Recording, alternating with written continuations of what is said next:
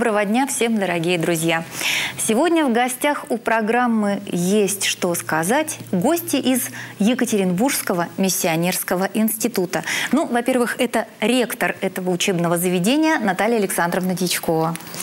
А кроме того, студент второго курса Иван Авдюшин и студентка первого курса Ксения Гусева. Мы всех вас рады приветствовать в нашей студии. Добро пожаловать. Здравствуйте. Здравствуйте. Здравствуйте. И у нас есть информационный повод – благодаря которому мы снова с вами встретились. Наталья Александровна, да, да, какие Светлана. новости да, в хорошо знакомом нам миссионерском институте? Спасибо, что пригласили. Действительно, нам есть что сказать. И сегодня мы пришли сказать вам о том, что с 1 сентября этого года в нашем институте открывается дневное отделение. Я думаю, что это радостное для всей нашей епархии, метрополии событие, потому что выпускники школ, молодежь имеют возможность поступить в институт и получить бесплатно, получить высшее богословское образование на теологическом факультете нашего института. Ну, это действительно очень радостно, тем более, что сейчас многие родители одиннадцатиклассников с замиранием сердца да. ждут ЕГЭ, угу. или как сейчас это называется, ОГЭ, уже успели угу. переименовать. А вот скажите, пожалуйста, ЕГЭ будет иметь какое-то отношение к поступлению э, в ВУЗ Конечно. миссионерский? Да, выпускников школ мы будем принимать по результатам ЕГЭ. Э, у нас вступительные экзамены для людей, закончивших среднюю школу, русский язык, обществознание, история. Вот результаты ЕГЭ по этим предметам мы будем учитывать. Ну и еще предстоит нашим абитуриентам сдать один экзамен э, по предмету, который в школе не изучают. Это предмет основы православия. Или, проще сказать, закон Божий. Вот, значит, если человек приносит нам ЕГЭ, русский язык, обществознание, история, мы учитываем ЕГЭ, и плюс к этому мы просим сдать еще один экзамен по закону Божьему. Это будет устный экзамен или письменный? Да, устный экзамен, и вопросы к экзамену есть на нашем сайте, на сайте Миссионерского института. Вот, вопросы эти несложные, и объем программы по основам православия, он совпадает с тем, как э, закон Божий изложен в известном популярном учебнике Серафима Слободского «Закон Божий». Я думаю, все люди церковные знают об этом учебнике, поэтому вполне можно подготовиться вот к сдаче вступительного экзамена по основам православия. Сааканян. Наталья Александровна, а надо ли благословение духовника? Обязательно. Мы принимаем абитуриентов, у которых есть письменное благословение духовника. Но если у человека еще нет духовника, то э, у священника, у которого, от священника, которому он часто ходит на исповедь, или чаще всего ходит на исповедь. А можно и взять направление от настоятеля храма, в котором человек бывает, на литургии, на исповеди.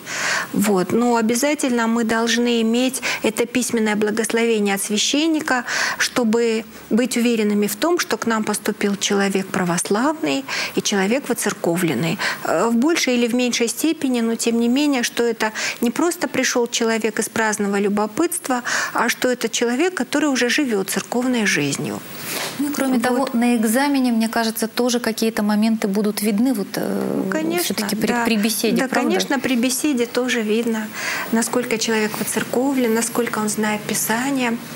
Вот. У нас в институте до сей поры существовало только два отделения, вечернее и заочное. Вот у нас три курса вечернего и заочного отделения. В этом году по благословению владыки нашего митрополита Кирилла мы открываем дневное отделение. И вот дети, которые сейчас вместе со своими мамами и папами думают о том, куда им поступать, я думаю, что можно прислушаться к нашему приглашению и прийти к нам в миссионерский институт по адресу Карла Маркса 12, посмотреть, что у нас там есть, и возможно поступить к нам в институт. Все-таки не часто в наше время есть такая возможность получить качественное образование бесплатное.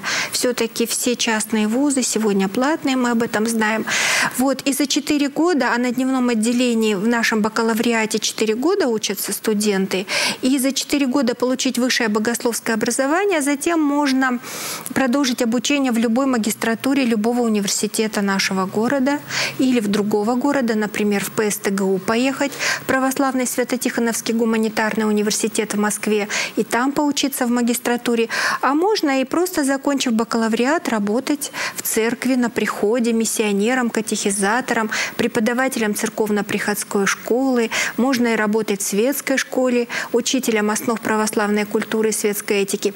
Можно работать и в православных библиотеках, и лаборантами на кафедрах религиоведческих или теологических. Но я думаю, Светлана, что и ваш телеканал «Союз» не откажет такому выпускнику нашему с богословским образованием, если он захочет потрудиться, например, в православных СМИ на канале «Союз» или в православной газете.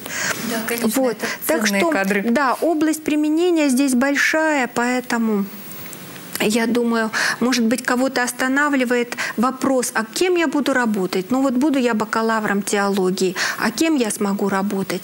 Ну вот я уже сказала, кем можно работать в церкви, в храме, в православных СМИ, в православных библиотеках, а можно и дальше продолжать свое образование. Спасибо, Наталья угу. Александровна. Вот именно этот выбор сделали наши юные гости. Ксения, скажите, пожалуйста, а почему пошли именно в миссионерский институт?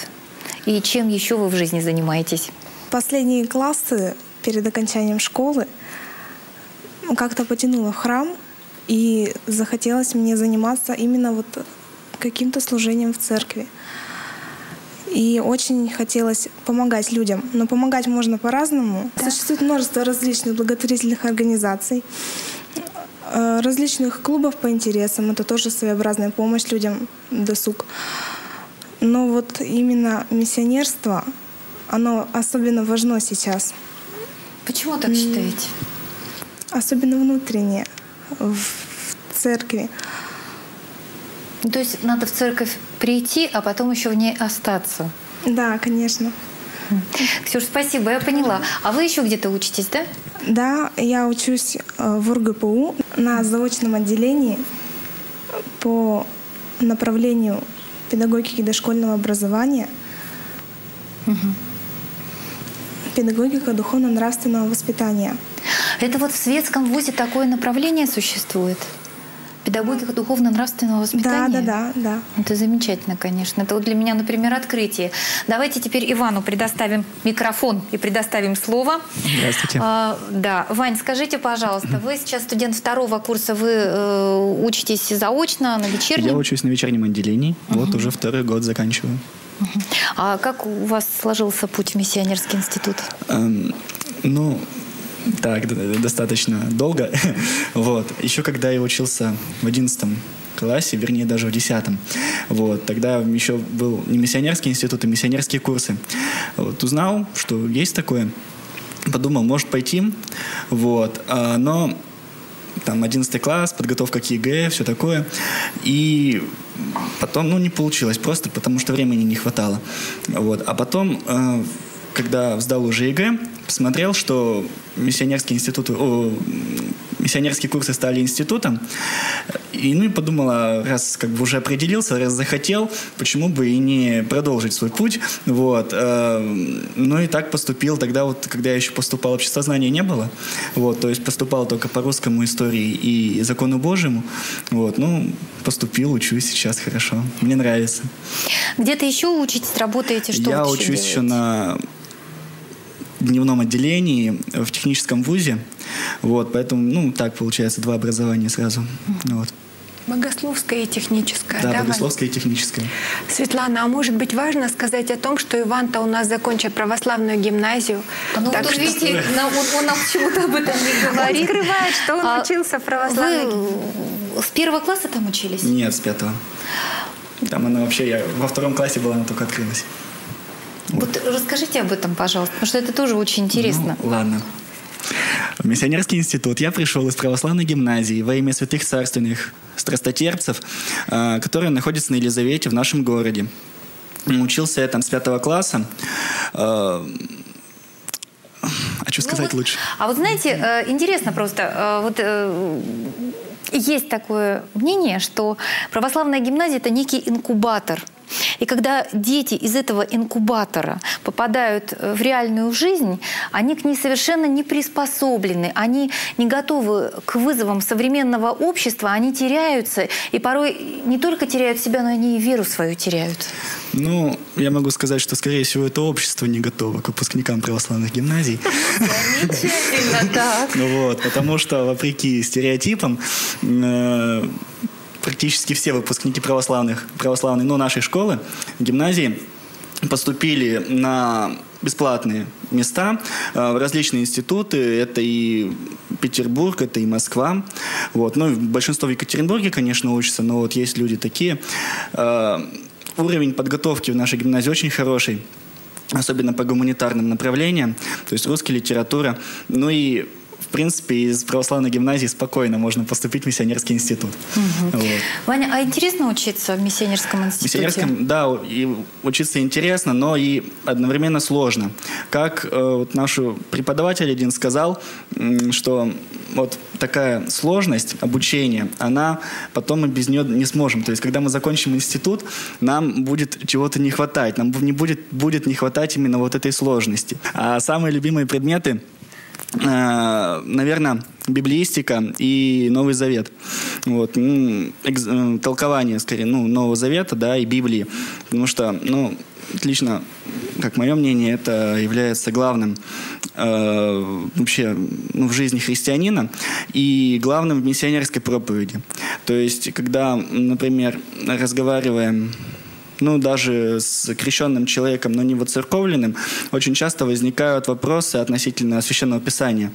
И полезно знать самому, э, что там написано. Вот. Не только какие-то фразы заученные, а смысл их знать ну, до, кон- до конца не, понятно невозможно. Вот. Поэтому, ну, хватит не говорить. Спасибо, Вань, спасибо. Наталья Александровна, вот от высокодуховных вопросов к вопросам чисто практическим и земным, но очень важным. Прозвучало в вашей речи слово «бесплатное образование». Да. Это на сегодняшний день вопрос больной, болезненный. Да, конечно, болезненный.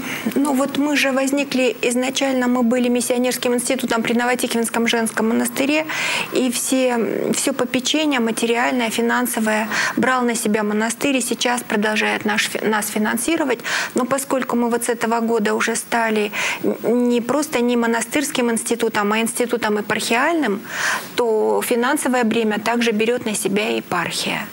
Поэтому можно сказать, что благодаря монастырю и благодаря епархии наши студенты имеют возможность бесплатно получать богословское образование высокого качества. И, конечно, за это большое спасибо и сестрам, и гуменье монастыря, и нашему владыке. Вот, потому что ну, не все православные люди имеют возможность платить деньги за то, чтобы получить высшее образование и к тому же богословское образование. Все-таки ведь многие как рассуждают, ну вот получу я диплом юриста, там экономиста, ну это вот у меня какая-то профессия в руках, и за это, может быть, я как-то поднапрягусь, и вот родители мне помогут, и я заплачу за мое образование. Но уж вот платить за богословское образование, мне кажется, многие сегодня еще не готовы. Вот, к сожалению, такова реальность. И мы знаем, что люди ведь ну, в основном не богатые или какого-то скромного достатка. Вот. А здесь, по милости Божией, вот так сложилось, что студенты бесплатно учатся. Наталья вот. Александровна, вообще э, разговор этот можно было бы продолжать и продолжать, но время эфирное у нас ограничено. Спасибо вам большое за этот да. рассказ. Ребята, вам спасибо, да. успехов в учебе. Я хотела бы только сказать нашим абитуриентам, нашим потенциальным будущим студентам о том, что всю информацию о том, как поступить в наш институт, они могут узнать, если пойдут к нам на сайт, просто в поисковике набрать «Миссионерский институт». И поскольку в России только один миссионерский институт, они сразу же попадут на сайт Миссионерского института нашего. И там есть рубрика абитуриентам, где очень подробно написано, какие экзамены, по каким предметам. Это, во-первых. Во-вторых, если э, те, кого заинтересовала наша передача, позвонят по номеру 269 30 36, то наши методисты в деканате тоже ответят на все вопросы. 269 30 36. Код города 343. Да, код города 343. Вот есть еще один телефон 342 03 40 и код код города тоже 343. Это телефоны Миссионерского института. Спасибо вам большое. Спасибо, Светлана. Будем надеяться, что вашего, нашего полку обязательно прибудет. Надеемся. Дорогие друзья, спасибо вам за внимание. Эфир телеканала «Союз» продолжается. Оставайтесь с нами.